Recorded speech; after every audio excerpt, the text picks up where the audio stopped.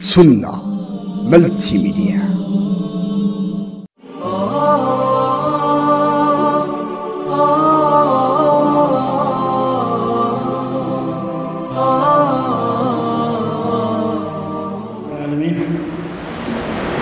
والصلاة والسلام على نبينا محمد وعلى آله سار على دربه واقتفى أثره واستنى بسنته إلى يوم الدين أما بعد فأسأل الله العلي العظيم أن يتقبل صيامنا وقيامنا وأن يهدي قلوبنا إلى ما يحب ويرضى ያው እንግዲህ ፕሮግራም ላይ ነው የቆያችሁት። ከዚህም ተሄዶ የሚሰራ ነገር ስለሌለ ረመዳን ነው እና አሁንም እንቀጥላለን። የተለያዩ ጥያቄዎች እንዳሉና እነሱም መመለስ እንደሆነ ፕሮግራማችን ወንድሞች ነግረውኛል። ጥያቄና መልስ ላይ የምሰጠው ትንሽ ማሳሰቢያ አለኝ። አንደኛው ማሳሰቢያ ምን ጠይቀው የሚመለከተንን እና የሚጠቅመንን ይሁን። እንዲሁ እንዲህ አይነት ጥያቄ ቢጠይቅ መልሱ ምን ይሆን በሚል ሳይሆን ማለት ነው። ከሀያታችን ጋር ግንኙነት ያለው ግምታዊ ጥያቄ ሊሆን አይገባም። እሱ መጀመሪያው ነው። መጠየቅ ክልክልም ነው ይፈቀዳል በሸርዕ ደረጃ ማለት ነው ያ አዩሃ አለዚነ አመኑ ላ ተስአሉ ዐን አሽያ ኢን ቱብደ ለኩም ተሱእኩም ወኢን ተስአሉ ዐንኩም ዐንሃ ሒነ ዩነዘሉ ልቁርአን ወቱብደ ለኩም ይላል ብዙ ነገሮችን አትጠይቁ፣ ቢነገራችሁ የሚያስከፋችሁ የሆነን ቁርአን ሲወርድ ብትጠይቁ ምላሹን ታገኛላችሁ ይላል። ዑለማዎች እንደሚሉት ደግሞ እቅሉጣቱል መሳኢል አትጠይቁ ይላሉ። እቅሉጣት ማለት ማሳሳቻ አንዳንድ ሰው የሆነ ነገር ያጠናና ለብቻው ከዛ ይችን እኮ ላያቃት ይችላል በሚል የሚጠይቃል። እኔ እንኳን መላ አለኝ ለዚህም መላውን በኋላ ነው የምነግራችሁ።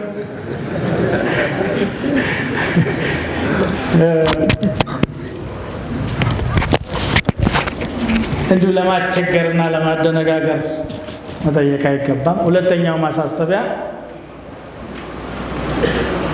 ታዳሚውን የማይመለከት የግል ጥያቄ ያንተ ብቻ የሆነ ኻስ በግል መጠየቅ ይመረጣል። በማያውቀው ነገር ግራ ማጋባት ስለሚሆን ማለት ነው።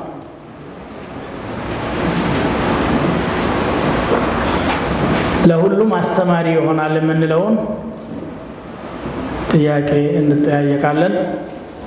ጥያቄያቸውን እስከሚያዘጋጁ ነው።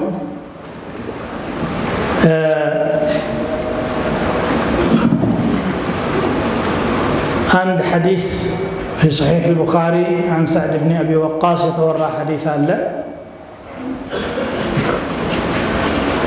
يقول النبي صلى الله عليه وسلم أعظم المسلمين جرما من سأل عن شيء لم يحرم فحرم من أجل مسألته له. كمسلم وجل وانجل يكبدوا ሐራም ያልነበረን ነገር ጠይቆ በሱ ጥያቄ ሰበብ ሐራም የተደረገበት ሰው ነዋል። ይህ አሁን ዋሕይ በሚወርድበት ዘመን ነው በመሰረቱ። አሁን እኛ ሐራም የምናደርገውም የምንፈቅደውም የለንም የተቀመጠውን ከመግለጽ ውጭ ማለት ነው ግን አሳ ጎርጓሪ ዘንዶ ያወጣል እንዲሉ አላስፈላጊ ነገር መጎርጎር ጠቀሜታ ላይኖረው ይችላል ከሚል አንጻር አዳብ ሱአል ማስታወስ ጥሩ ነው ብዬ ነው። አስቸጋሪ ጥያቄ ቢመጣ መላለኝ ያልኩትን ምስጢሩን ልንገራቸው፣ እንቆቅልሽ እንዳይመስላቸው። አልሐምዱሊላህ ወሰላቱ ወሰላም አላ ረሱሊላህ አላሁ አዕለም። ይህ ነው መልስ።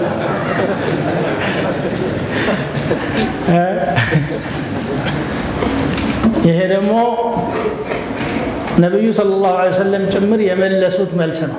ቀልድ እንዳይመስላችሁ የምታውቁትና ሁላችሁም የሐፈዛችሁት ሊሆን ይችላል። ሐዲስ መተ ሰዓቱ ሲላቸው ሰሓቢዩ ማን ነው? ጅብሪል አልአሚን ሐዲስ ጅብሪል ላይ ቅያማ መቼ ነው ሲላቸው ምንድን ነው ያሉት? መልመስኡሉ ዐንሃ ቢአዕለመ ሚነ ሳኢል አሉት። እቺ ጉዳይ እንኳ ተጠያቂው ከጠያቂው የበለጠ አያውቅም አሉት። እኔም አንተም አናቃትም ነው አይደል? መልሱ እኮ ይሄ ነው። ይሄ ጥያቄው ዝም ብሎ ዓለማዊ ነገር ቢሆን በመላምትም ትሰነዝራለህ። ዲን ነውና ወሕይ ነው መሰረቱ። ሑጃውን ካወቅ ትመልሳለህ፣ ካላወቅ ደግሞ አላቅም ትላለህ። ሁላችንም እንደገና እውቀት ፍለጋ በጋራ እንጓዛለን ማለት ነው። እውቀት መቼም መጨረሻው ደርሻለሁ የሚል ሰው አለማወቁን ነው የሚያረጋግጠው። እውቀት መጨረሻው የሚደርስ ማንም ስለሌለ ማለት ይሄ ነው እንግዲህ። ከዚህ በኋላ ይህን ያህል መንደርደሪያ ከተጠቀምኩኝ ወደ ጥያቄዎቻችሁ እንሸጋገራለን። መርሐባ ብስሚላህ ራህማን ራሂም አልሐምዱሊላህ ረቢል ዓለሚን ወሰላቱ ወሰላሙ ዐላ ረሱሊላህ። አንዲት እርጉዝ ሴት ምንም አይነት ህመም ሳይኖራት ዶክተር ጾም ማቆም አለብሽ ስላላት ብቻ ማቆም ትችላለች ወይ? እንዲሁም እዚህ ጋር ተያይዞ ጥያቄዎች ነፍሰ ጡር ጾም መፍታት ትችላለች ወይ? እስከ ስንት ወር ድረስ? ጾም ስንት ወር ነው? ወይስ እርግዝናውን ነው እስከ ስንት ወር የሚለው? ዶክተር ያለ ምክንያት አቁሚ የሚል ከሆነ ማቆም አይፈቀድላትም። ግን ጾምን በመቀጠሏ በእሷ ላይ ወይም በሆዷ ባለው ሽል ወይም ጽንስ ላይ የሚደርስ ችግር ካለ ሙሐቀቅም ይሁን መዝኑን ማለት የሚገመትም ይሁን የተረጋገጠ ችግር ሊደርስ የሚችል ከሆነ ማፍጠር ተፈቅዷል።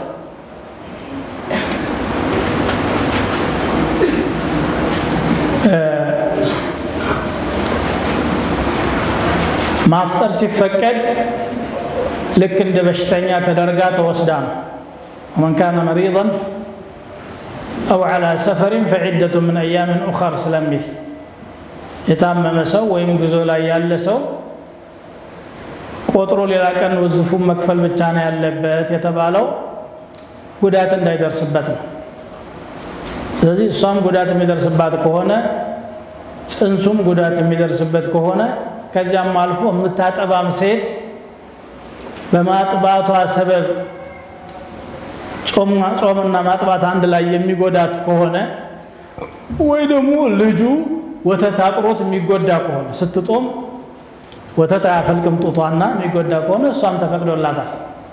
እርጉዝና የምታጠባ ማለት ነው። ያው ሌላ ጊዜ ግን ቀዷ ማውጣት ይኖርባቸዋል። የእርግዝና ዘመኑ በጊዜ አልተገደበም። ከአንደኛ ወር አንስቶ እስከ ዘጠነኛው ወር እስከምትወልድበት ጊዜ ባለው በማንኛውም ሰዓት ማፍጠር ይፈቀድላታል። አላሁ አዕለም።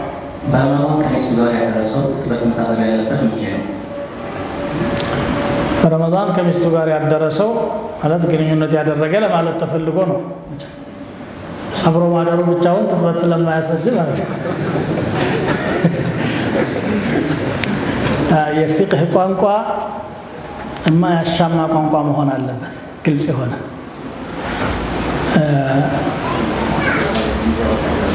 የስነ ጽሁፍ ቋንቋ ነው ለቀቅ የሚለው። ለዚህ ነው እንደዚህ ያልኩት ማለት ነው። ጅማዕ ካደረገ ወይም ጅኑብ ከሆነ ከጅማዕም ውጭ እኮ ጅኑብ ሊሆን ይችላል በእሕቲላል በዕልሙ ጅኑብ ሊሆን ይችላል ጅኑብ ከሆነ ሳይፈጅር በፊት መታጠብ ግዴታ አይደለም አዛን ከተባለ በኋላ ቢታጠብም ጾሙ ችግር የለውም فقد ثبت في الصحيح أن النبي صلى الله عليه وسلم كان يصبح جنبا وهو صائم جنوب هنا أدرو ከነጋ በኋላ ይታጠባሉ ጾማቸው ምንም የሚደርስበት ጉዳት የለም ነው በሽታ ምክንያት መጾም ያልቻለ ሰው ማድረግ ያለበት ምንድን ነው? ተመሳሳይ ጥያቄ። አንድ ሴት ሁለት ወይም ሶስት ረመዳኖችን በመውለድ ምክንያት ካልጾመች ምን ማድረግ አለባት? የሚከፈል ክፍያ ካለ በብር መስጠት ይቻላል ወይ? በበሽታ ሰበብ ጾም ያፈረሰ ሰው ምን ማድረግ አለበት ነው? በበሽታ ምክንያት መጾም ያልቻለ ሰው። መጾም ያልቻለ ሰው OK። መጾም ያልቻለ ሰው ማፍጠር ይችላል። ይሄ ومن كان منكم مريضا أو على سفر فعدة من أيام أخر ነው። ፈቅዷል አላህ سبحانه وتعالى። ባይሆን በሽታ ሁለት አይነት ነው። ጾሙ ከወጣ በኋላም መጾም የማያስችል መረድ ሙዝሚን ቋሚ የሆነ በሽታ ነው። በዚህ ቀን ይፈወሳል ተብሎ የማይታሰብ ወይም እድሜ ልኩም ማቋረጥ የሌለበት መድኃኒት የሚወስድ ይሄና ኖርማሉ በሽተኛ ይለያያሉ ሕክማቸው። ዝም ብሎ ጊዜያዊ የሆነ በሽታ የታመመ ሰው ማፍጠር ተፈቅዶለታል። ባይሆን ግን ረመዳኑ ከወጣ በኋላና ሲሻለው ያፈጠረውን ቀን ቆጥሮ ቀዷ ማውጣት ይኖርበታል። ያ ደግሞ ቋሚ በሽታና ለመጾም የማያስችል በሽታ ሰለባ የሆነ ሰው ወይም እድሜው በጣም ገፍቶ አዛውንት ሆኖ ከጾመ ይበልጥ እየተጎዳ የሰው ጥገኛ ሊሆን የሚችል ሰው ይህም ተፈቅዶለታል። ማፍጠር ቀዷ ማውጣት ግን አይወጅብበትም። የሚወጅብበት ምንድን ነው በየቀኑ አንድ ምስኪን ማብላት ነው። በየቀኑም ባይሆን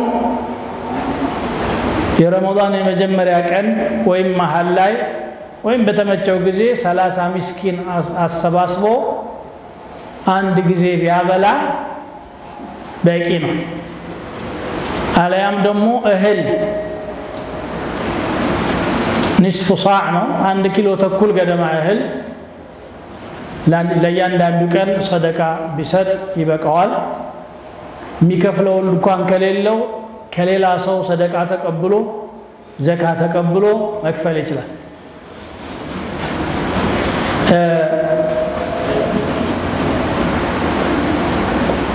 እርጉዝ ሆና ያፈረሰች ከሆነ ሶስት አመት ሁለት አመት ቀዷ ሳታወጣ ያለፋት እንደው የምታደርገው ምንድን ነው ለሚለው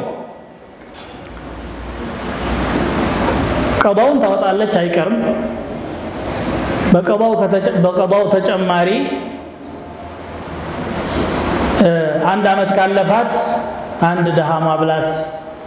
ሁለት አመት ከሆነ ሁለት ድሃ ሶስት አመት ከሆነ ሶስት እያበላች ቀባው ጋራ ጎን ለጎን ሰደቃ መስጠት አለባት። በተለይ ያፈጠረችው ለልጇ ከሆነ የሚሉ ብዙ ዑለማዎች አሉ። ይሄ ከተቻለ ይደረጋል። መጾሙንም ማብላቱንም ከቻለ። ያልቻለ ግን ጾሙን ብቻ ከጾመ ይበቃዋል እዚሁ ላይ ልጄ ታማሚ ነች እና መድኃኒት ትወጣለች። እኔ ደግሞ መከተው ገንዘብ የለኝም ምን ማድረግ አለብኝ? ማለት መክፈሉ የሚወጅበው በእሷ በልጅቱ ላይ ነው እንጂ በወላጅ ላይ አይደለም። ልጅ ካላት ትከፍላለች ከሌላት እንደ ማንኛውም እዳ ጊዜ ይሰጠዋል። ወይን ካነ ዑስረትን ፈነظረቱን ኢላ መይሰራ ነው እስከሚቻል ድረስ ጊዜ ይሰጠዋል። ያው ግን እዳ ነው ተብሎ ሊታሰብ ይገባል ማለት ነው። ከጾሙም ከሰደቃውም ነፃ መሆን የሚቻልበት ሁኔታ የለም። አዛን እየተባለ ቁርአን መቅራት ይቻላል ወይ? አዛን እየተባለ አደቡ ሙአዚኑ የሚለውን አብሮ ማለት ነው። ሱናውን በሐዲስ የመጣው ነቢዩ ሰለላሁ ዐለይሂ ወሰለም ፈቁሉ ምስለ ማ የቁሉ ልሙአዚን ብለዋል። ሙአዚኑ እንደሚለው በሉ። ይሄ ነው መደረግ ያለበት። ክፍት ሰዓታት ስለሚኖሩ ሙአዚኑ ድምፁን ሳብ አድርጎ ስለሆነ የሚያደርገው በዛ ሰዓት ሌላ ዚክር ቢያደርግ ችግር የለውም። ሀይድ እያለች መስጊድ መግባት ለሙሐደራ ለቅራአት ይቻላል ወይ? እንዲሁም ቁርአን መቅራት ትችላለች ወይ? ቁርአን የምትችል ከሆነ እንዴት ነው መቅራት የምትችለው?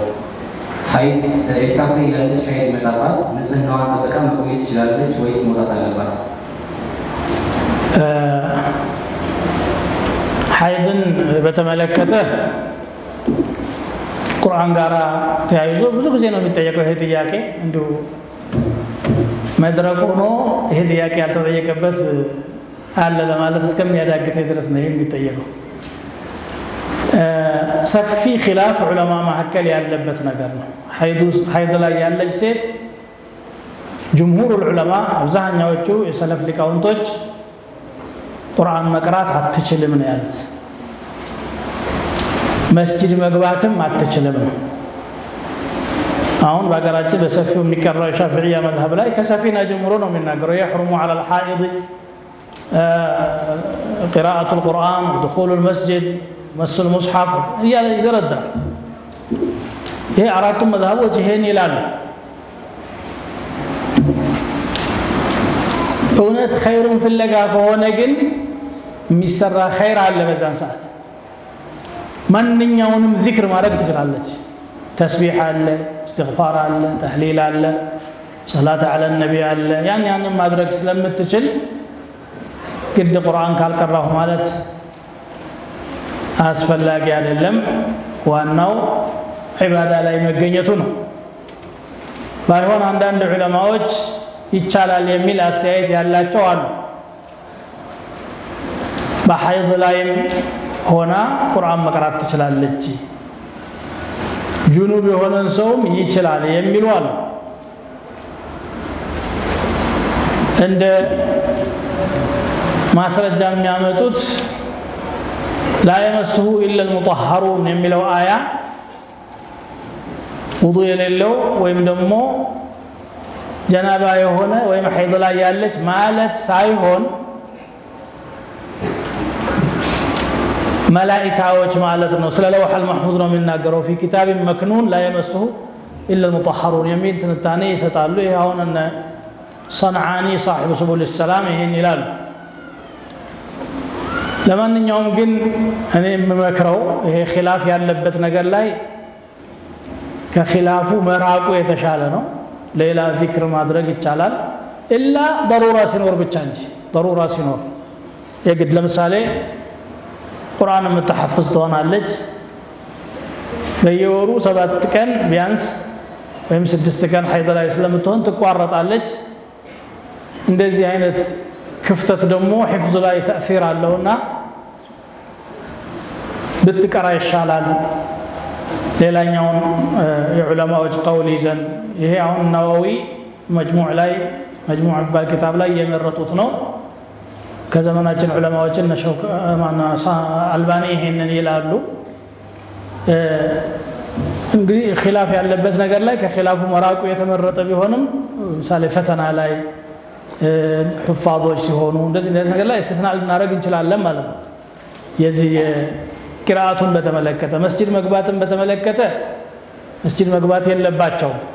ይህን የሚያመለክቱ ሐዲቶች አሉ። ከዛ መካከል ما جاء عن النبي صلى الله عليه وسلم أنه قال إني لا أحل المسجد لحائض ولا لجنوب ይህ መስጂድ መስጂድን ሐይድ ላይ ላለ ሰው ወይም ጀናባ ለሆነ ሰው አልፈቅድም ብለዋል።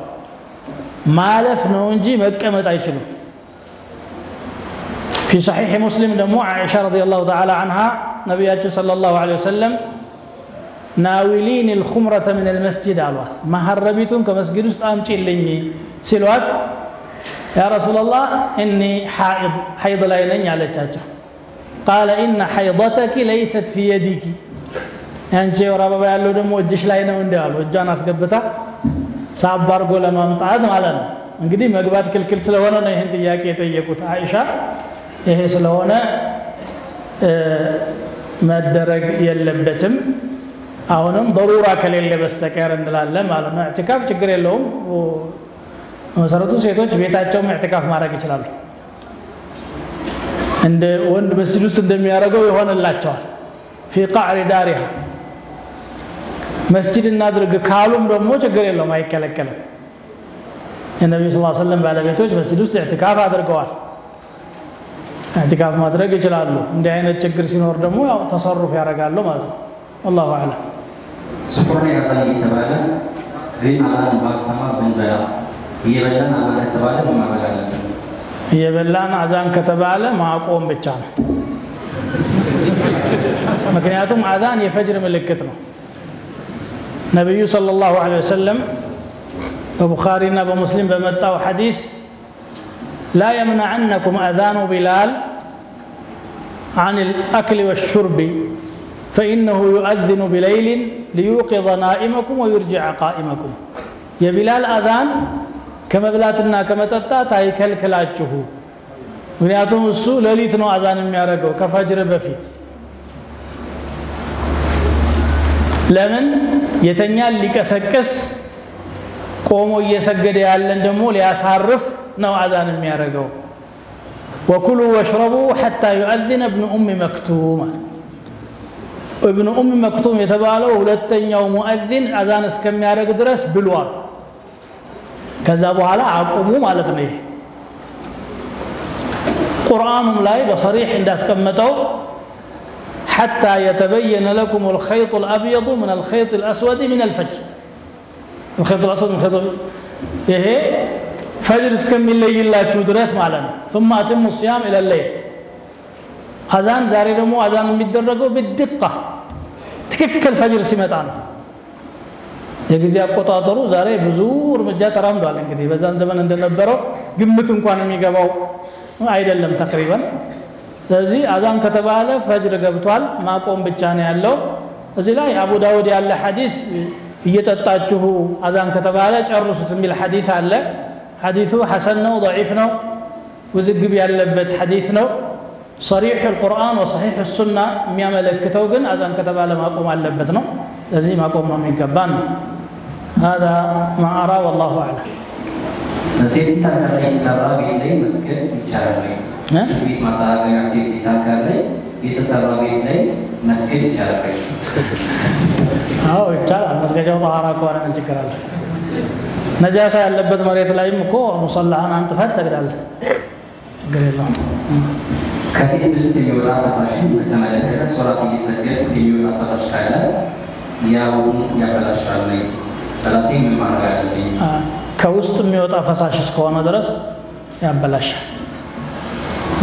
ሶላት ከማይሰግድ ሰው ጋር አብሮ ጋብቻ መኖር እንዴት ይታያል? ክፉ እድል ነው።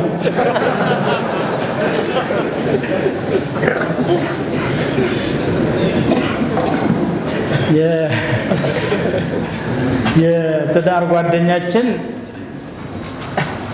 መጀመሪያ ነው መምረጥ ያለብን።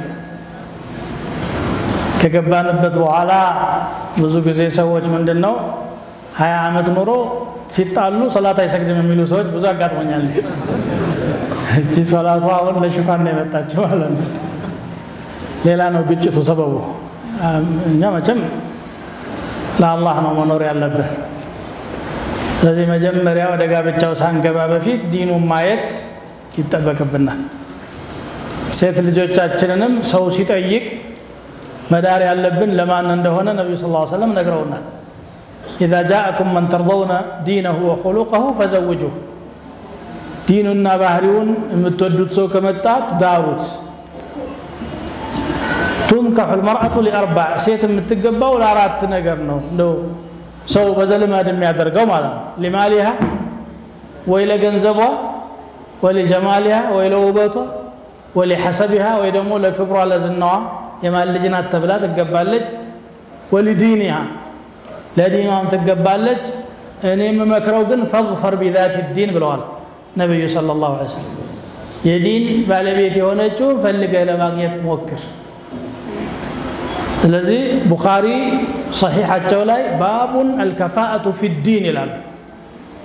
አቻነት ማለት በዲን ነው ይላሉ። ይሄ አቻችን ነው ልንጋባው ይገባል ተብሎ የሚመዘነው ዲን ያለው ከሆነ ነው።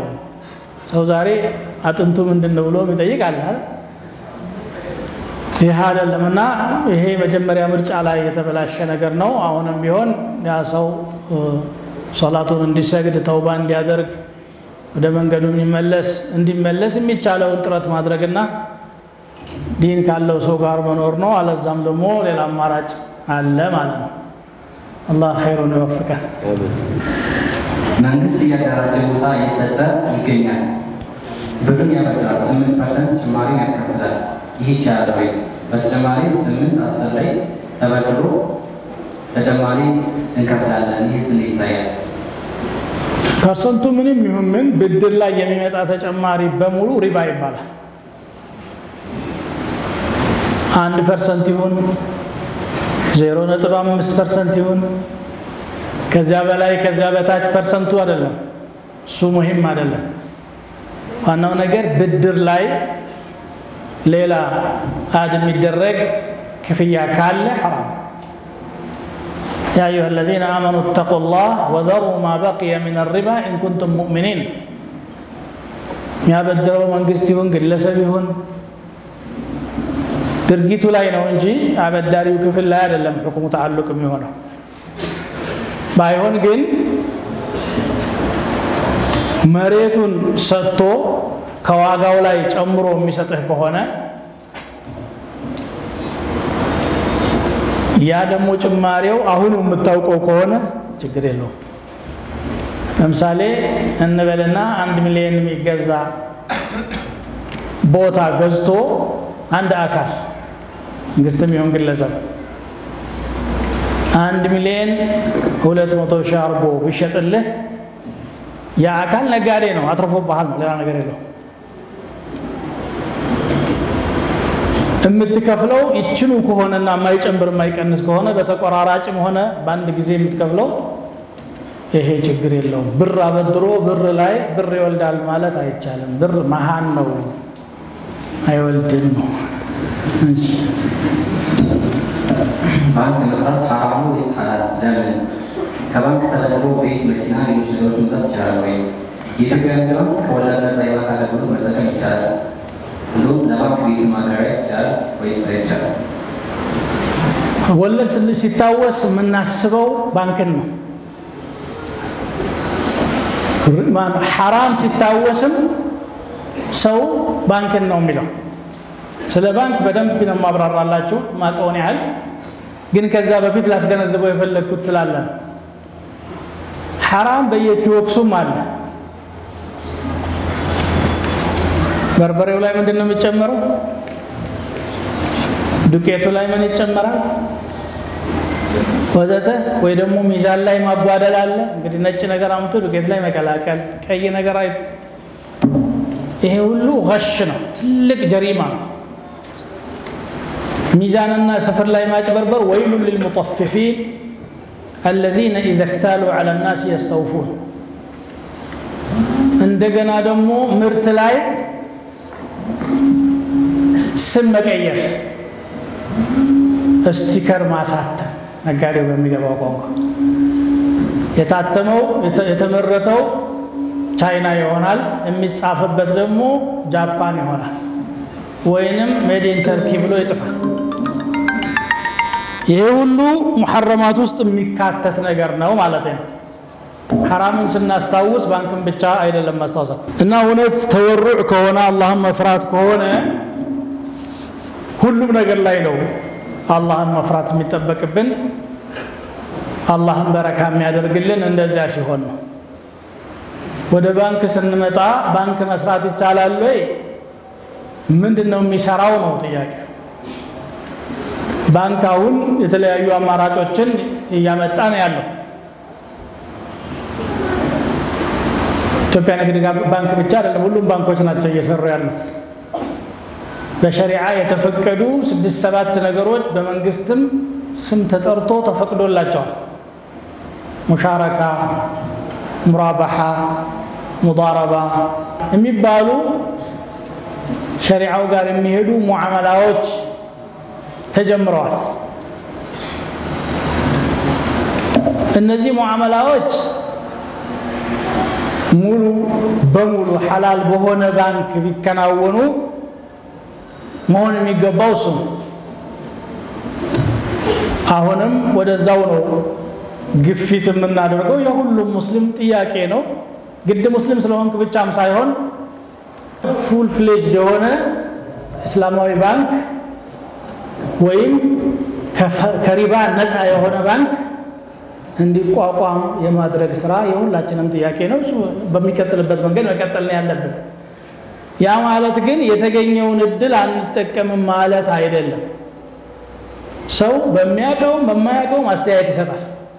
የእኛ ሰው እንደዛ ነው። በ social media ሁሉም ያወራል። واقعው ግን ምንድን ነው ብሎ ያንን ጉዳይ ወይም የሸሪዓ ዕልምም ኖሮት ደግሞ የዘመናዊ የኢኮኖሚ እውቀትም ኑሮት ነገሩን መመዘን ባለበት መዝኖ ጥሩ ነው መጥፎ ነው ማለት የሚችል ሰው ቢናገር ጥሩ ነው። አለዛም فاسألوا أهل الذكر إن كنتم لا تعلمون የሚያውቁ ሰዎችን ጠይቁ የማታውቁ ከሆነ ነው። ስለዚህ እነዚህ የተፈቀዱ ነገሮች ሁሉም ሙስሊም ሀገሮችም እነ ማሌዚያ፣ እነዚህ ጎረቤታችን ሱዳን ሳይቀር ሁሉ ሀገሮች ወደ ሐላል መቶ በመቶ ሐላል ወደሆነ ባንክ የመጡት መጀመሪያ በዚህ አሁን እኛ ሀገር ላይ በተጀመረው ነው የጀመሩት። በ Islamic window በሚባለው ማለት እስላማዊ መስኮት። ይሄ ማለት ሐላል በዚህ በኩል ሐራም በዚህ በኩል መሸጥ ነው። እዚህ ክርስቲያን ስጋ እዚህ እስላም እያለ ነበር አንዱ በቀደም። ጭራሽ ከማጣት ታዲያ ያሸን ይሄ በቂ ነው ማለት አይደለም። መሆን የሚገባውም ይሄ ብቻ ነው ማለት አይደለም። ግን ሐላል የሆነ ፍንጭ ታይቷል። ለሐላልና ለሐራም አስበውም አይደለም፣ አትራፊነቱንም አምነውበት ጭምር ነው። جمعية خيرية አይደለም ባንክ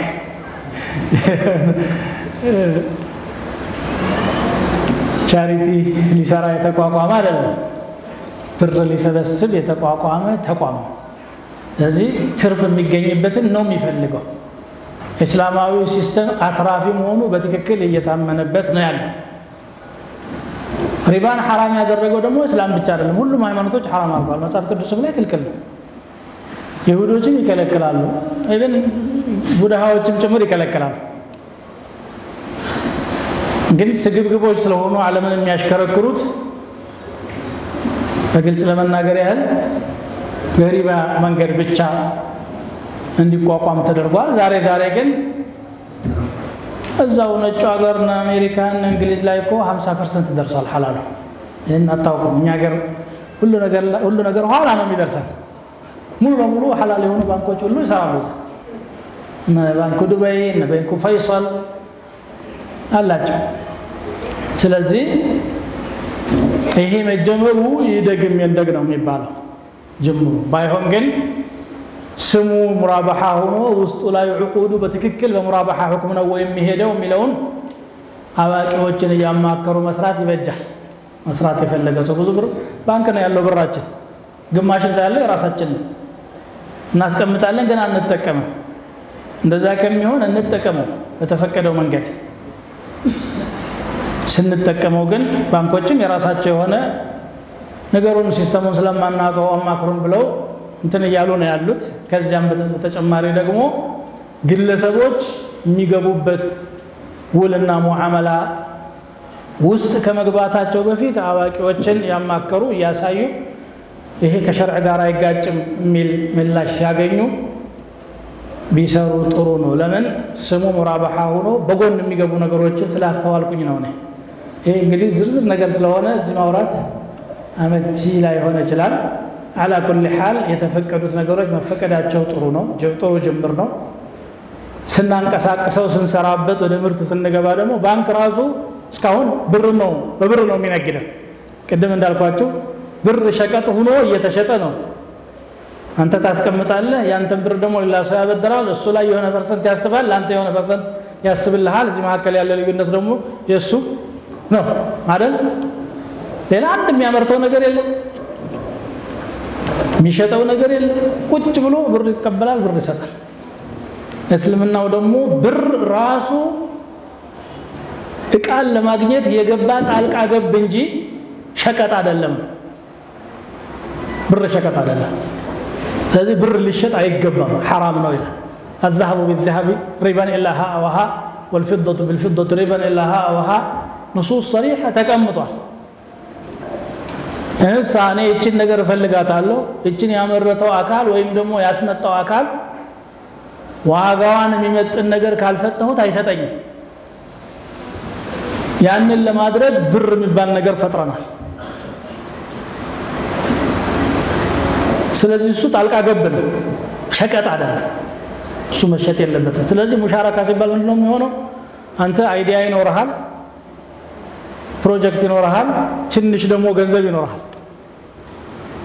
ይህን ያህል አለኝ አንተ ባንክ የምትባል ሰውዬ ቀሪውን ብር ሙላና አብረን እንስራው። ትርፉን ደግሞ በካፒታላችን መሰረት እንከፋፈላለን። ሙሻረካ ማለት ይሄ ነው። ፊቅህ ላይ ከአቡ ሹጃ ጀምሮ ያለ ነገር ነው كتاب الشركة ይላል። ሙዳረባ ማለት ደግሞ አንተ ሀሳብ ብቻ ይኖርሃል ሙያ ይኖርሃል። እኔ ደግሞ ገንዘብ ብቻ ይኖረኛል።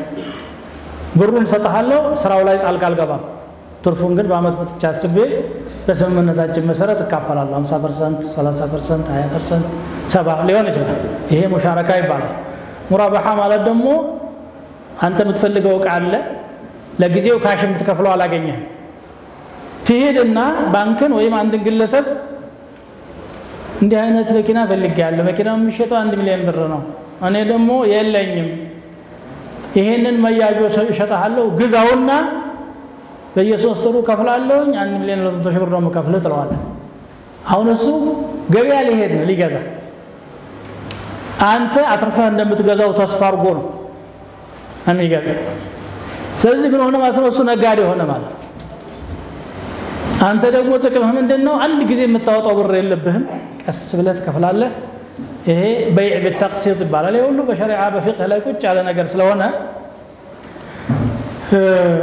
ይሄ ነው ፈቀድ ነው እያሉ ያሉት። ግን ውሉ ላይ የሆኑ ነገሮች ደንቀር የሚሉ ነገሮች እንዳይኖሩ ለምሳሌ ዋስትና ማስያዝ ያስገድዱህና ዋስትና የተያዘውን ነገር ኢንሹራንስ ካልገባህበት ይለሃል ኢንሹራንስ ስገባ ደግሞ ሪባ መጣ ማለት ነው። غرر መጣ ማለት ነው። እዚህ የተጻፈው ሙራባሓ ነው። ግን በጎን ደግሞ ሌላ ወንጀል የሚያስገባህ ነገር ይኖራል። እንደዛ እንዳይኖር ንቃት ኖሮን አዋቂዎችን እያማከርን መስራት ነው እንጂ ሀገራችን ላይ ገለልተኛ ወይም ታዛቢ የሆነን መቀመጥ አይገባንም። ገብተን መስራት ይገባናል። ይሄ ነው እንግዲህ ረዘም ያደረግኩት ውስብስብ ነገር ስለሆነ ነው። ከዚህም በላይ መርዘም የሚገባው ነገር ነው እሱ። على كل حال ለዚህ መድረክ በቂ ነው። ከመቶዎች በላይ ተጭነው ይገኛሉ? ስለነሱ ኢንሹራንስ ለስርቆት የሚባል ኢንሹራንስ አለ ስለዚህ መኪናችን ለስርቆት ብለን ኢንሹራንስ መግባት እንችላለን ወይ እንዳይሰረቅ ነው ዋስትና የሚሰጡት? ከተሰረቀ እንዳይሰረቅ የሚሰጡ ከሆነ ጥሩ ነው። የህይወት ኢንሹራንስ ሲሰጡ እንዳይሞት ኢንሹራንስ መስጠት የሚችል ካለ ጥሩ ነው።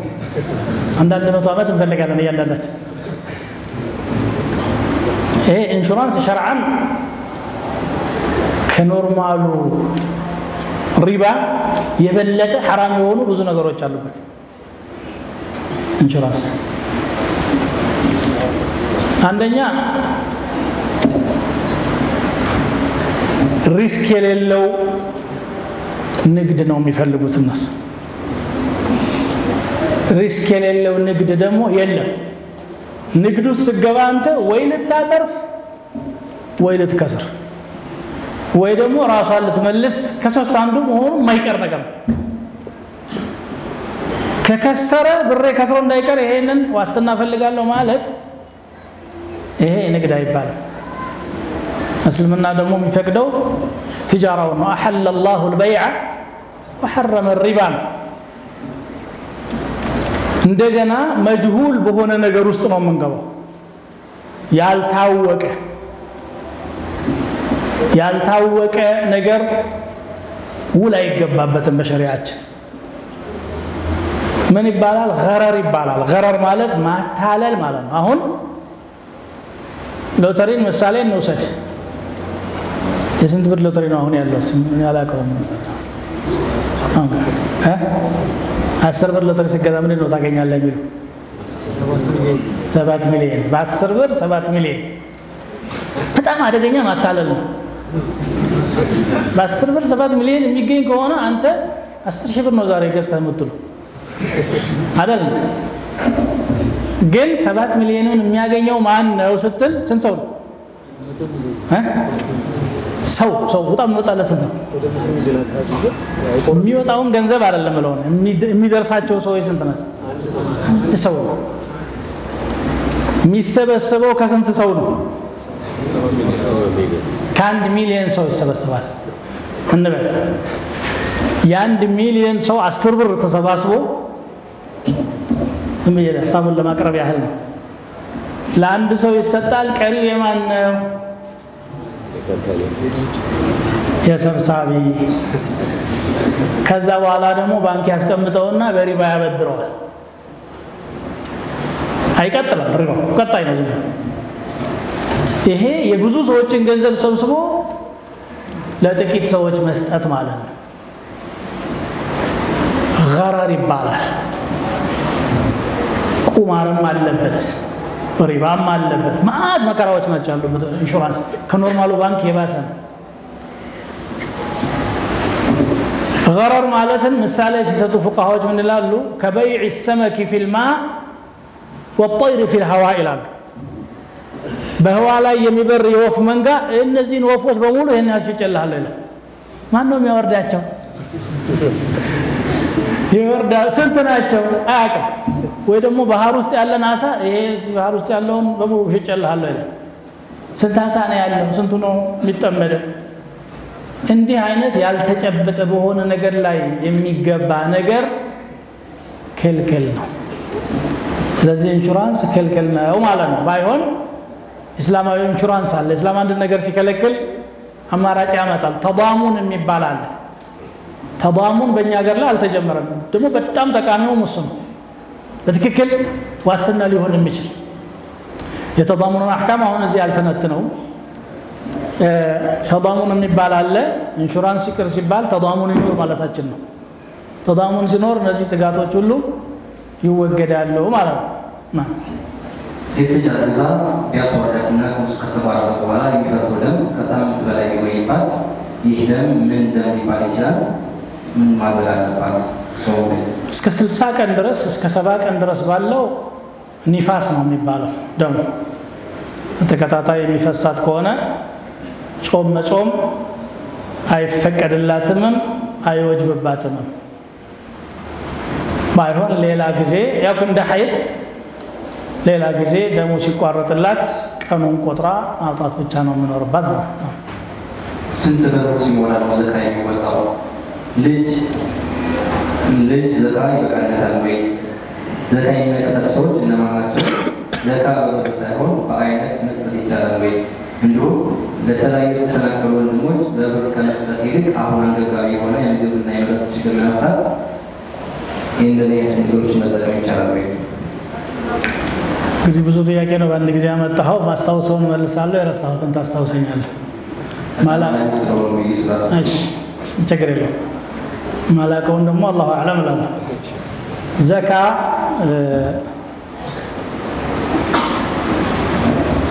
ከስንት ብር ነው የሚወጅበው? ዘካ በብር አይለካም። የሚተመነው ወይ በወርቅ ወይ ደግሞ በማዕድኑ ብር ነው። ሲልቨር የሚባለው እሱ ማለት ነው። የእኛ አገሩ በፊዳው ወይም በማዕድኑ ብር መሆን አለበት የሚሉ ጥቂት ዑለማዎች አሉ። ከእኛም ሀገር ዑለማዎች፣ በዓለም ያሉ አብዛኛው ዑለማዎች በወርቅ ነው መተመን ያለበት ነው ያሉት። በወርቅ ከሆነ ምን ያህል ግራም ወርቅ ሲኖረው ነው? ሀያ ሚስቃል ወይም ሀያ ዲናር ዘሀቢ ሲኖረው ነው የሚወጅበው። እዚህ ላይ ኢጅማዕ ተገኝቷል። ዑለማ ኪላፍ የለውም። ሀያ ዲናር ማለት አንዱ ዲናር ስንት ግራም ነው? አራት ግራም ሁለት ነጥብ አምስት ነው። አራት ግራም ተሩብ ነው አይደለም። አራት ግራም ነጥብ ሁለት አምስት ነው የሚባለው። አራት ግራም ከሩብ ነው። አራት ግራም ከሩብ ሲባዛ በሀያ ሰማንያ አምስት ግራም ይመጣል። ሰማንያ አምስት ግራም ከሆነ በኋላ ራሱ ምን አይነቱ ወርቅ ነው የሚል ደግሞ ጥያቄ ይመጣል። የወርቅን በምንድን ነው የሚለኩት? ካራቲ ነው ምናምን የሚሉት አለ አይደል? ከአስራ አምስት አንስቶ እስከ ስንት ነው ያለው? እስከ ሀያ አራት አለ እና በየትኛው እንያዘው የሚለው ላይ መካከለኛውን ነው የምንይዘው ብለዋል። 18 18ም ሆኖ ደግሞ የሀገር ውስጥና የሀገር ውጭ ይባላል። እኛ ያለነው እዚህ ሀገር ነው። ስለዚህ በሀገር ውስጡ ነው የምንይዘው። ሀገር ውስጡ ሆኖ 18 እንላለን። ይሄ ፈትዋ ነው። 18 ካራት የሆነው 85 ግራም ወርቅ መግዛት የሚችል አቅም ሲኖር ይወጅብብሃል። ታዲያ የአንዱ ግራም ዋጋ እሳ እንዴት እንወቀው? ሱቅ ላይ ያለው ዋጋ ራሱን የቻለ ነው። ባንክ ላይ ያለው ራሱን የቻለ ነው። ጥቁር ገበያ ላይ ደግሞ ጥቁር ዋጋ ይኖረው ይሆናል። የቱን እንያዘው ከተባለ የሀገሪቱ ብሔራዊ ባንክ የሚያወጣውን እንይዛለን። የወርቅ ዋጋ በየጊዜው ያወጣሉ። በየቀኑም ደግሞ ከፍ ዝቅ ይላል። ተቀራራቢ የሆነ በምታወጣበት ሰሞን የሚወጣ ዋጋ መነሻ ይሆናል። ያንን ነው እንግዲህ በሰማንያ አምስት የምናባዛው ማለት ነው። እንበልና አንድ ግራም ስንት ይሸጣል እንበላው አንድ ሺህ ብር ካል ሰማንያ አምስት ሺህ ብር ያለው ሰው ዘካ ይወጅበታል ማለት ነው። አመት የዞረው ወይም ደግሞ ይሄንን ሊያወጣ የሚችል ሸቀጥ ካለው ዘካ ይወጅባል። ነጋዴ ዘካ የሚያወጣው በብር ነው ወይስ በአይነት ከዚያው ከሚሸጠው ነገር ማውጣት ይችላል ወይ? ሁለቱም ይቻላል። ልብስ የሚሸጥ ሰው ልብስ ዘካ ማውጣት ይችላል። ዋጋውን ተምኖ የወጀበበትን ያህል የሚሆነውን መስጠት ይችላል። ማንኛውንም የሚሸጠውን አይነት መስጠት ይችላል።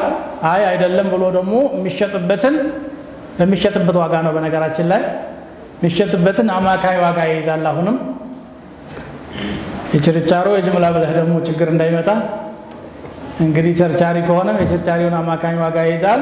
አከፋፋይ ከሆነም እንደዛው መካከለኛውን ከያዘ በኋላ በዛ ያባዛና ዘካ ያወጣል። ከዚያ ዘካን ገንዘቡን ወደ ሌላ ነገር ቀይሮ መስጠት ይቻላል የሚል ጥያቄ ተጠይቋል። ለምሳሌ ለተፈናቃዮች ዱቄት ወደ ዱቄት አዙሮት ማለት ነው። ይቻላል ነው? አይ ይሄ አይቻልም። ማድረግ ያለብህ ዘካውን ለባለቤቱ ባለበት መልኩ ነው የምትሰጠው። ባይሆን እሱ የኔ መስላሓ ይሄ ነውና አርግልኝ የሚል ፍቃድ ከሰጠ ትችላለህ። ለምሳሌ ለዘመድህ ነበር የምትሰጠው። ዘመድህ እኔ ልብስ ነው የቸገረኝ ልብስ ግዛልኝ ከዘካው ገንዘብ ላይ ቢልህ ልታደርግለት ትችላለህ። በእሱ ፍቃድ የእሱ ነውና የእሱ ገንዘብ ላይ አንተ ጣልቃ ገብተህ መስላሓ ይሄ ነው ማለት አትችልም። ያ ሐቅ ልፉቀራ ነው። الذين في أموالهم حق معلوم للسائل والمحروم ነው። መሕሩም ማለት ፈቂር ማለት ነው። ሌላ ለልጅ ይቻላል የሚል ጥያቄ ተያይዞ ተነስቷል። ለልጅና ለወላጅ አይቻልም። ዑለማዎች ሁሉም ይህንን ነው የሚሉት። በጎን ላሉ ዘመዶች ከወንድም አንስቶ ከእህት አንስቶ ይቻላል የሚገባቸው ከሆኑ ከወንድም አንስቶ አክስት፣ አጎት እንደ ዝምድናው ቅርበትና ርቀት መስጠት ይቻላል። ሊልፈርዕ ወልአስል ብቻ አይቻልም ነው የሚሉት። ጥያቄዎችን እንግዲህ የረሳኋቸው ከሌሉ ጨረስኩ መሰለኝ። ለልጅ ባል ይቻላል፣ ለባልም ይቻላል፣ ለሚስት ግን አይቻልም። ማለት ሴትየዋ ሀብታም ሆና እሱ ችግረኛ ከሆነ ልትሰጠው ትችላለች። ባል ለሚስቱ ግን አይችልም። ለምን? መቀለብ ስለሚወጅብበት ያኔ ለራሱ ሰጠ ማለት ነው የሚሆነው። ለእዳም አይቻልም። በነገራችን ላይ ብዙ ነጋዴ የሚጠይቀው ይሄንን ነው። አንድ ሰው ተበድሮሃል አልከፍልህ ሲል በዘካው አስቤዋለሁ ማለት አይቻልም። እሺ ለኮንዶሚኒየም የተቆጠበ ባንክ ይወጣበታል? በምንም መልኩ የተጠራቀመ ገንዘብ ዘካ ይወጅበታል። ለዋስትና ተይዞም ብሎክ የሆነ ሂሳብ ውስጥ ያለ ገንዘብ ከውጭ ካለ ገንዘብ ላይ ታወጣለህ። የጠየቁት ጥያቄ ለተጠናከሩ ወንድሞች አስፈላጊ ምግብ መልሻለሁኝ። ያልሰማ ካለ አሁንም እደግመዋለሁ። ፉቀራ ማለት እነሱ ናቸው፣ ችግረኞች ናቸው። ዘካ ይገባቸዋል። ግን ዘካ ወደ ሌላ ነገር መቀየር በራሳቸው ፍቃድ ከሆነ ብቻ ነው። በዚህ አካባቢ ላላችሁ ተፈናቃዮች ይህን ያህል ዘካ መድበናል፣ እህል ለመግዛት ከምትንከራተቱ እኛው ገዝተን እናምጣላችሁ ብላችሁ አማክራችሁ እሺ ካሏችሁ ይቻላል። አለዛ ብሩን መስጠት ነው አንድ ሰው በብዛት አልተገረሰም። ነገር ግን እ? አንድ ሰው በብዛት አልተገረሰም፣ እ። ግን ለጦሃራ ምንም አያስቸግረው። የዚህ ሰው ስርዓት የሸጡ ጉዳይ እንዴት ይታያል? መገረዙ ራሱ ሱና ነው ወይም ዋጅብ ነው።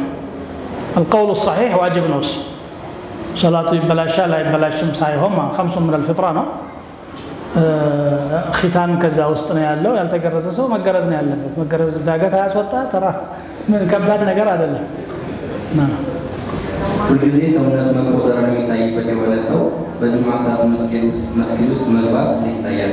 ከሰውነቱ የሚፈልቅ ከሆነ ጁምዓ መቅረት አይፈቀድለትም። በዛ ሰበብ ማለት ነው። ግን በተቻለ መጠን የሚቀንስበትን ማድረግ ነው ያለበት ነው። አንድ ሰው ሁለተኛ ሚስት ማግባት አይችልም። ነገር ግን ሚስቱ እና ሌላኛው ሴት ከተስማሙ ይቻላል። እኔ አንድ ሰው ሁለተኛ ሚስት ማግባት አይችልም። አቅም የለውም ሚስቱና ሌላኛው ሴት እንዳገባት ከተስማሙ ይቻላል። ማለት ወጪ አልጠይቅህም ካለችው ማለት ነው። ሰምታችሁ ታውቃላችሁ? እንደዚህ እንደ ቅድመ መስፈርት ማስቀመጥ አይቻልም። ወጪ ላትጠይቅኝ ብሎ ማለት ነው። ይሄ አይቻልም። በኋላ በራሷ ፍቃድ በእኔ በኩል አትጨነቅ ካለችው ይቻላል። ሐቋን ነው የተወችውና ግን ቆይታ ደግሞ አይትቸዋለሁ ካለችም ትችላለች ነው ና በዚህ ላይ የተገናኙ ማለት ሴት ለትዳር ማለት ይቻላል ወይ? ይህም በየቀኑ ውስጥ የሚጠየቅ ጥያቄ ነው ማለት ይቻላል። እንግዲህ ያው ዘመናችን የፈሳድ ዘመን ስለሆነ ነው የሚጠየቀው። እዚህ ላይ ዑለማዎች ግማሾቹ ጭራሽ አይቻልም ብለዋል። አንዴ በዚና ከተገናኛት መልሶ በትዳር መገናኘት አይቻልም። ይሄ የአብዱላህ ብን መስዑድ እና የዓሊ ብን አቢ ጣሊብ ቀውል ነው። ሱረቱል ሱረቱ ኑር መጀመሪያ ላይ ያለውን አያ እንደ ዋቢ ያመጣሉ። አዛኒየቱ ላ የንኪሑሃ ኢላ ዛኒን አው ሙሽሪክ ወሑሪመ ዛሊከ ዐላ ልሙእሚኒን ወዛኒየቱ ላ የንኪሑሃ ኢላ ዛኒን አው ሙሽሪክ ወሑሪመ ዛሊከ ዐላ ልሙእሚኒን ዝሙተኛን የሚያገባ ራሱ ዝሙተኛ የሆነ ወይም ሙሽሪክ እንጂ ማንም ሊሆን አይችልም። ይሄ ደግሞ በሙእሚኖች ላይ ሐራም ተደርጓል ይላል። ይህን ዛሂሩን አይተው አንዴ በዚና ከተገናኙ በጭራሽ አይቻልም ያሉ ብዙ ዑለማዎች አሉ። ሌሎች ደግሞ ይህንን የፈሰሩበት ተፍሲር አላቸው። ምን ማለት ነው አሉ። ዚናን ስራ አድርጋ የተሰማራችን ሴት ኒካህ ማድረግ አይቻልም። አይ ሌላው በሐራም ቢሆን እኔ በሐላል ነው ማለት አይችልም ነው። ይህንን ማዕና የሚያጠናክረው አያው የወረደበት ሰበብ ነው። መርሰድ አልገነዊ የሚባል ሰሓቢ ነበር። ሙሽሪክ ሆኖ መካ ላይ ሲኖር አንዲት ሴት ነበረችው ወደ እሷ የሚያዘግምባት የሆነች አናቅ ትባላለች። ይሄ በሽርክ ዘመን ነው። በኋላ እሱ እስልምናን ተቀበለና ሂጅራ ሄደ ወደ መዲና። ረሱል ሰለላሁ ዐለይሂ ወሰለም ጋር ሲኖር መካ ተሸለክልኮ እየሄደ ከእስር ቤት እስረኞችን እየሰረቀ ወደ መዲና ይልክ ነበር። አንድ ቀን ጨለማ ለብሶ የቁረይሾች እስር ቤትን ተሽለክልኮ ገብቶ ለማውጣት ሲሞክር ያቺ ሴት ታየዋለች። በድሮ ጃሂልያው ዘመን ታውቆ የነበረች። የድሮ ትዝታ መጣባት መሰል መርሰድ አለችው ነዓም አላት ሀሉመ ፈቢት ዒንደና አለችው ናና ዛሬ ከእኛ ጋር አረፍ በልደር አለችው ያ አናቅ አላት ኢነ ላሀ ሐረመ ዚና አላህ እኮ ዚና ከለከለ ያን የድሮውን ትተነዋል አላት ይህማ ከሆነ ጮኬ ነው ማሲዝህ ብላ ድምጿን ከፍ አድርጋ ያ ማሸረ ቁረይሽ ማለት ጀመረች ልታሲዘው ማለት ነው እግሬ አውጭ እንጂ ብሎ አፈትልኮ ወደ መዲና ሄደና መንገዱን እየሄደ እያለ እሱም ደግሞ ዚክራ ትዝታው መጣበት ነቢያችን ስለ ላ ሰለም ዘንድ ሄደና መቼም እኛና ሰሓቦች የምንለየው የአሁኑ ሰው አንድ ነገር ከሰራ በኋላ ነው የሚጠይቀው። እንዲህ አድርጌ ነበር ሕኩም ምንድን ነው ይላል? ካረክ በኋላ ምንም ጠይቀዋል? ብዙ ጊዜ የሚያጋጥመኝ ይሄ ነው ብዬ ሰሓቦች ግን ሳይሰሩ በፊት ነው የሚጠይቁትና አናቅም ባገባ ይፈቀዳል ወይ ብሎ ጠየቃቸው እሷማ ዚናን ስራ አርጋ የያዘች ስለሆነ አንተ ደግሞ አፊፍ ሙስሊም ስለሆንክ እሷን ማግባት አይፈቀድልህም الزاني لا ينكح إلا زانية أو مشركة والزانية لا ينكحها إلا زان أو مشرك وحرم ذلك على المؤمنين يملو آية ورده ከዚህ በኋላ ዚና ላይ የተሰመራችን ሴት ለስም ኒካሕም ቢሆን መቅረብ አይቻልም። እሷን ማግባት ሐራም ነው የሚለው ላይ ኢጅማዕ አለ። ድንገት ተሳስተው ዚና ላይ የሚወድቁ ሰዎችና ዚናን ስራ አድርገው የያዙ ሰዎች ሕክማቸው ይለያያል ማለት ነው። በእነኚህ ሰዎች አባባል ትዳር ከፈለጉ ይችላሉ ይላል የተሳሳቱት ሰዎች ባይሆን ሸርጥ አለ። ሸርጡ ምንድን ነው በስህተት ከፈጸሙት ድርጊት ውጪ ዳግም ሳይቀራረቡ ማሐፀኗ እስከሚጸዳ ድረስ ከቆዩ ነው። ማሐፀኗ ደግሞ ከሁለት በአንድ ነገር ነው የሚጸዳው። ጸንሳ ከሆነ የጸነሰችው እስከሚወለድ አልጸነሰች ከሆነ ደግሞ ማሐፀኗ ከእርግዝና የጸዳ መሆኑ በአንድ የወር አበባ እስከሚረጋገጥ ቆይተው ከዚያ በኋላ ወደ ኒካህ መሄድ ይችላሉ ይላሉ ጅምሁር ዑለማ ይሄንን ነው የሚሉት አላሁ አለም ባልና ሚስት ሳይፋቱ ፍርድ ቤት ይፈታት ህግሙ እንዴት ነው? እንዲሁም እነዚህ ሰዎች ተመልሰው ቢጋቡ ሊጋቡ ቢፈልጉ ምን ማድረግ አለባቸው? በሸሪዓው ፍርድ ቤት ከሆነ አንድ ፍቺ ከሆነ ኒካሃቸውን ማደስ ይችላሉ። ሁለት ከሆነም በአዲስ መልኩ መጋባት ይችላሉ። ለሶስተኛ ጊዜ ከሆነ አብቅቷል። በመደበኛ ፍርድ ቤት የሚፈታውን በተመለከተ በቂ መልስ የለኝም። አላሁ አለም ነው ምላቸው ሁለት ተመሳሳይ ተቃራኒ ጥያቄዎች።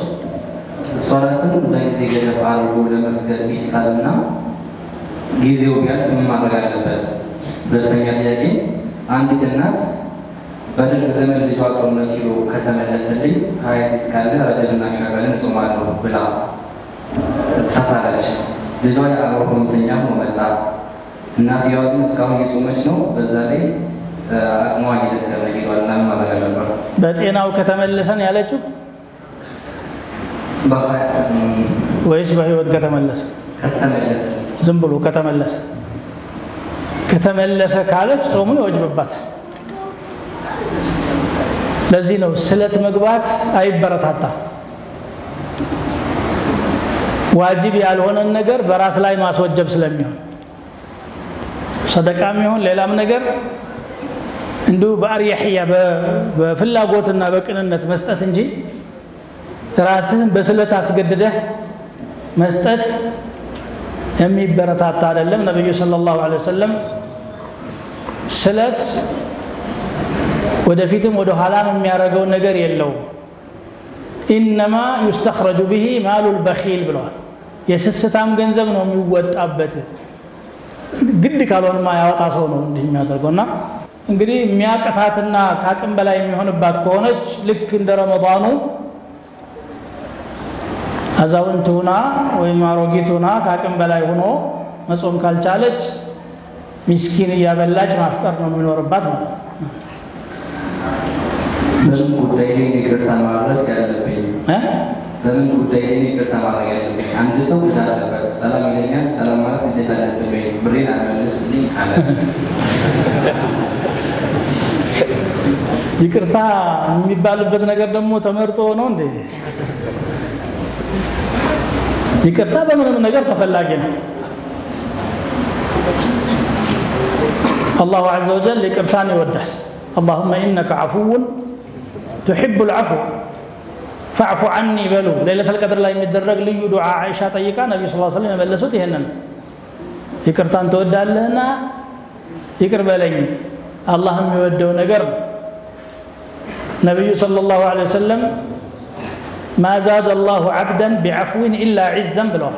አንድ ባሪያ አላህ ይቅር በማለቱ ክብር እንጂ ሌላ ነገር አይጨምረው፣ እድገት ነው የሚጨምረው። ይቅር ባይነት እኮ ድል ነው፣ ራስን ማሸነፍ ማለት እኮ ነው። ሰው አቻውን እንደማንም ታግሎ ሊያሸንፍ ይችላል። ነፍሱን ማሸነፍ ግን ብዙ ይቸገራል። ለይሰ ሸዲዱ ብሱርዓ ያሉት ለዚህ ነው። ስ ታጋይ ማን ነው? ብርቱ ማለት ታግሎ የሚጥል አይደለም። ኢነመ ሸዲድ አለዚ የምሊኩ ነፍሰሁ ዒንደ ልገضብ ራሱን የቁጣ ጊዜ የሚቆጣጠር ነው ብርቱ ሰው የሚባለው ብለዋል። ስለዚህ ይቅርታ በማንኛውም ሰዓት ተፈላጊ ነው፣ ግድ ግን አይደለም። የተበደለ ሰው ሶስት ነገር ተፈቅዶለታል።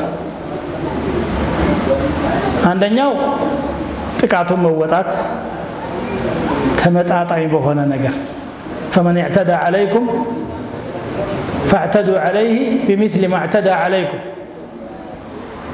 ሌላኛው ለነገ ማሳደር እንግዲህ አላህ ፊት አገኘዋለሁ ብሎ አሁን ይቅር አላለም ማለት ነው። ሌላኛው ደግሞ ይቅር ማለት ነው። ትልቁ ግን ይሄ ነው። ወለመን ሰበረ ወገፈረ ኢነ ዛሊከ ለሚን ዐዝሚ ልእሙር ይላል።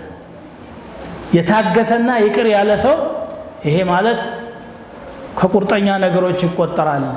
ይሄ ሰው የቁርጥ ቀን ሰው ነው፣ ብርቱ ሰው ነው ማለት ነው። ከዛ አልፎ ለበደለው ሰው ውለታ መዋል ደግሞ ትልቅ ደረጃ ነው። والكاظمين الغيظ والعافين عن الناس والله يحب المحسنين ስለዚህ እኔ ወንድሜን ወይም እህቴን የምመክረው ገንዘቡም ላይመለስ አጅሩንም ከሚያጣ አኺራውን ቢያገኝበት ይሻለዋል አፉ ብሎ አንድ ይሄ ነው። ሌላ ሰው የበደሉ ሰዎችን ደግሞ የምመክረው አጭር ምክር አለኝ።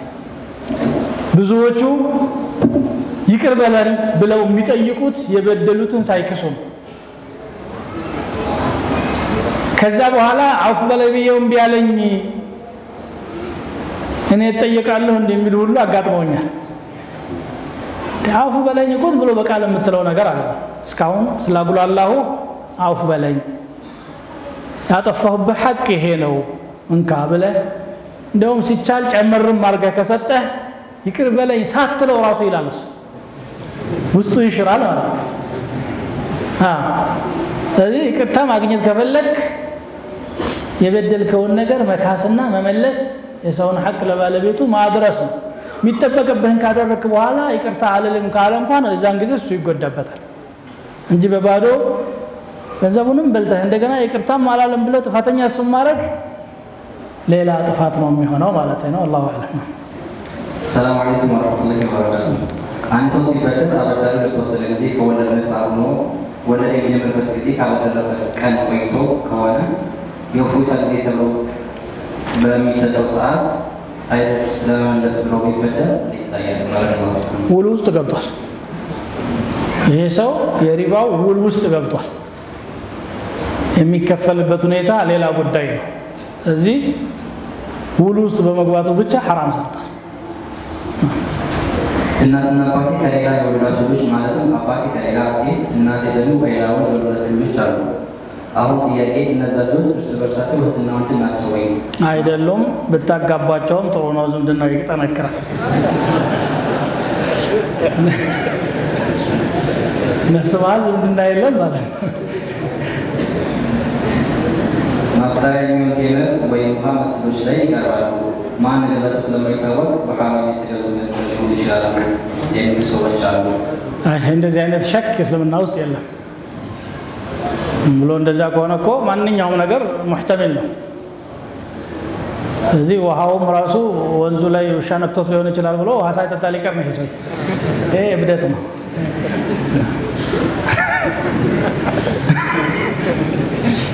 ስታረጋግጥ ብቻ ነው። ወይ ደግሞ የሚያጠራጥር ምልክት ስታገኝ ከተውከው ወራዕ ይሆናል።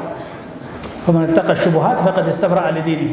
ዝም ብሎ በመላምት ተጠራጣሪ መሆን ግን ተገቢ አይደለም። ሰው ለረመዳን ማስፈጠሪያ ብሎ ሐራሙን ገንዘብ አምጥቶ ይሰጣል። አኺራ ፈልጎ አይደል?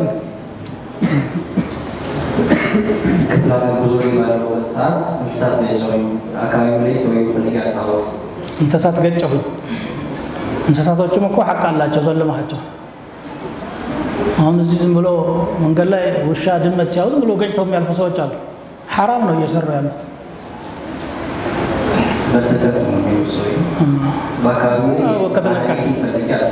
ከጥንቃቄ። ጉድለት ነው። በአካባቢ ገጠር አካባቢ ላይ ባለቤት ተፈልጎ አይጠፋም። ይፈልግ እኛ ታዲያ እዚህ እንፈልግለታለን። ሐዋላ ስራ በሸሪዓ እንዴት ይታያል? ኤጀንሲ እንዴት ይታያል? እሱም الله أعلم ብዙ ውስብስብ ነገር ስላለው ወጥ حكم መስጠት ያስቸግራል። እንግዲህ እሱ ያው ዑለማ የፈትዋ ኮሚቴ ስለሚኖር ከዚህ በኋላ እንደዚህ አይነት ነገሮችን بحث አድርገው research አድርገው ነው ምላሽ የሚሰጥበት። ሁሉንም ጥያቄ እዚህ መልሳለሁ ማለት አልችልም። ጋር የተገናኙ ነገራቶች እ?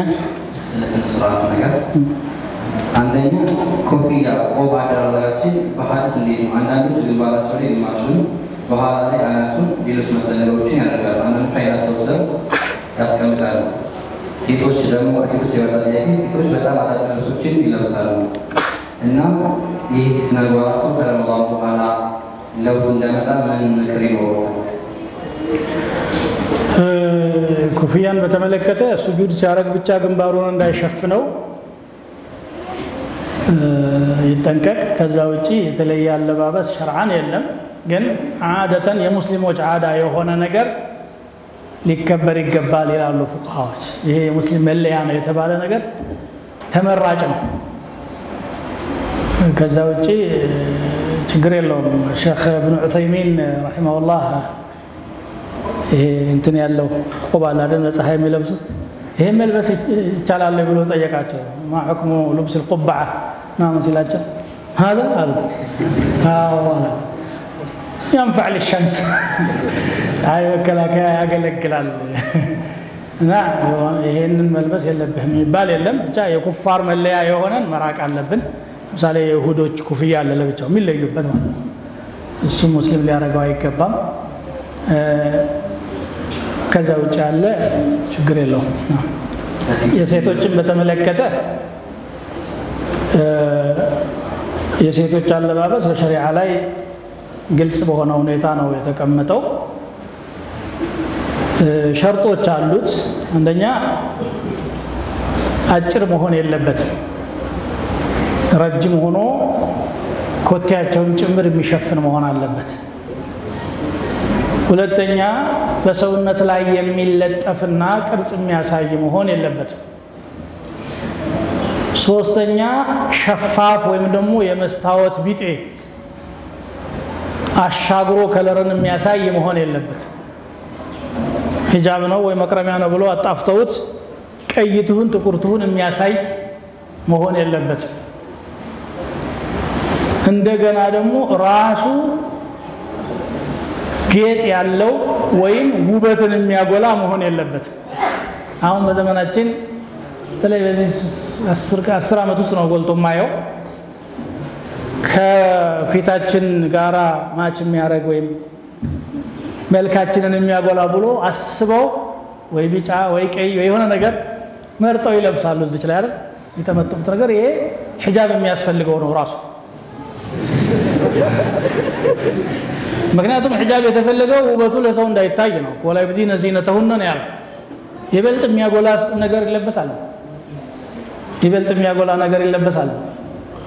ከሱ መራቅ ይኖርብናል። ቅርጽን የሚያሳይ ጡትን አጉልቶ ሌላ የሰውነትን አጉልቶ የሚያሳይ መሆን የለበትም እና ሌላውና ዋነኛው ደግሞ ሽቶ ሊኖር አይገባም። ዶዶራንትም እዛ ውስጥ ይካተታል። ወደ ውጭ ወጣ ሲሉ የሰው አፍንጫ የሚስበው ነገር ሊኖር አይገባም። ማንኛውንም ነገር ልታጌጥበት ይፈቀድላታል፣ ግን እዛው ጓዳው ውስጥ ከባለቤቷ ጋር ነው የሚፈቀደው እንጂ አደባባይ ላይ ሰተር አድርጋ ነው ራሷን መውጣት ያለባት። ስለዚህ አጭር ልብስ መልበስ ወይንም ደግሞ ቅርጽ የሚያሳይ ልብስ መልበስ ሐራም ነው። ሰውነት ቢሸፈንም መሸፈኑ ብቻ በቂ አይደለም ማለት ነው። ለልጆች ልደት ማክበር እንዴት ይታያል? ሁለተኛ ጥያቄ ለልጆች አሻንጉሊት መግዛት። ሶስተኛ ሽበት ያላት ሴት ባሏን ለማስደሰት ማጥቆሪያ መቀባት ትችላለች ወይ? እንዲሁም ሜካፕ ሴቶች ምንድነው እሱ? ሜካፕ ስራ ይዞ ሌሎችን በመቀባት ገቢ ማግኘት ይታያል። ለሰርግ እና ነገሮች አሻንጉሊት ችግር የለውም።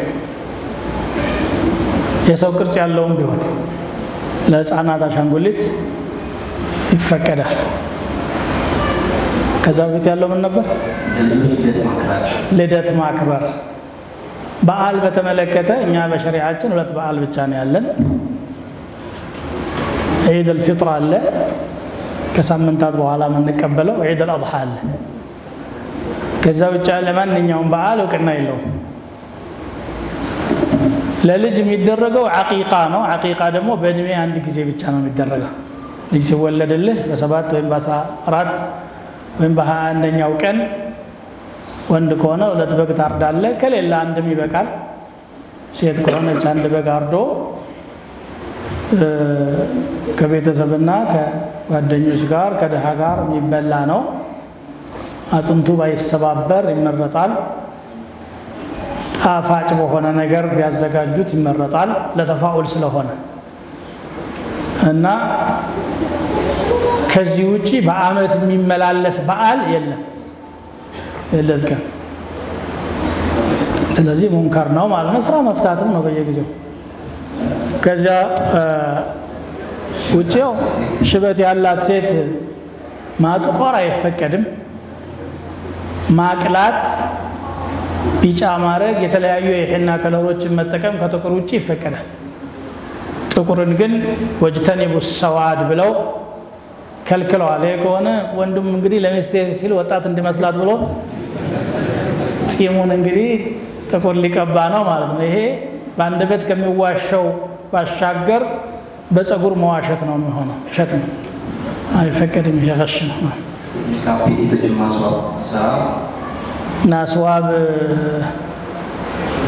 ይህም ሁኔታው ብዙ ነው። ለሰርግ ጊዜ ለባለቤቷ ለሆና የምትዋብ ትሆናለች፣ ወይ ደግሞ ተውባ ውጭ ለውጭ ለመሄድ የምትወጣ ትሆናለች። የሐራሙ ሐራም ነው፣ የሐላሉ ሐላል ነው። እንግዲህ ዙ ሐደይን ሁለት ስለት ያላቸው ቢላዋዎች ስለሚሆኑ ነው አንድ ወጥ ሕክም መስጠት የሚያስቸግረን። ትክክል ሐላል የሆነው ለብቻው ተነጥሎ ይፈቀዳል እንላለን። ግን አሁን በጥቅሉ ሲጠየቅ ሙሉ ለሙሉ ሐራም ነው ማለትም ያስቸግራል። ሙሉ ለሙሉ ሐላል ነው ማለት ሐላሉሁ ሐላል ወሐራሙሁ ሐራም ተፍሲል ያስፈልገዋል፣ ዝርዝር ያስፈልገዋል። ለምንድን ነው የምታደርገው ይህንን ነገር ለማን ነው የምታደርገው ተብሎ ይጠየቃል። በተጨባጭ የምናውቀው ግን ቆራጣ ልብስ የሚሸጡ ነጋዴዎች ሁሉ ለማን እንደሚሸጡ ያውቃሉ አይደል? ለባሏ የምታጌጠው አይደለችም። እናውቃለን። ይህን የሚያደርጉትም ሁሉ ደግሞ ለማን እንደሚያደርጉ ያውቁታልና እንዲሁ በአብዛኛው ሕክሙ ግልጽ ነው ማለት ነው። ካልሲ ማድረግ ለሚያማሉ ሴቶች አለማድረግ ሳያደርጉ ለውጭ መውጣት እንዴት ይታያል? ጫማው የሚሸፍን ከሆነ ችግር የለውም። ዋናው ነገር ኮቴያቸው መሸፈን አለበት። ነጠላ ጫማ ለብሰው በዛ እግራቸው ላይ ደግሞ የተለያየ ነገር ቀባብተው ሲወጡ ዚናቸውን አሳዩ ማለት ዚና ማለት ውበት ማለት ነው። ወላ ዩብዲነ ዚነተሁና ያለውን አያ ከለፉ ማለት ነው። ለሴቶች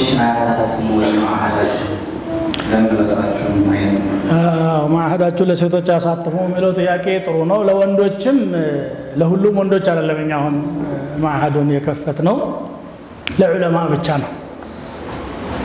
ዑለማ ሆኖ የተወሰነ መስፈርት አለን፣ ሸርጥ አለን። ያንን ላለፈ ነው። ምክንያቱም ለኢማምነት፣ ለኸጢብነት፣ ለፈትዋ እና ለዳዕዋ ነው የምናዘጋጃቸው። ይሄ አሁን ያለን ፕሮግራም ነው። ወደፊት ግን ሁሉንም የሚያሳትፉ ፕሮግራሞችን ለማውጣት ዝግጅት አለን። ያሰብን ነው ያለ ነው። ወንዶችም ሆኑ ሴቶች በማታ ክፍለ ጊዜም ሆነ በተለያየ መንገድ መሰረታዊ የሆነ የዲን እውቀት እንዲያገኙ ፕሮግራም እናዘጋጃለን። ያን ጊዜ እናሳትፋለን ኢንሻ አላሁ ተዓላ። ይሄ ፍላጎት መኖሩ ደግሞ የበለጠ ይገፋፋናል ለዛ ነገር ማለት ነው ኢንሻ አላህ።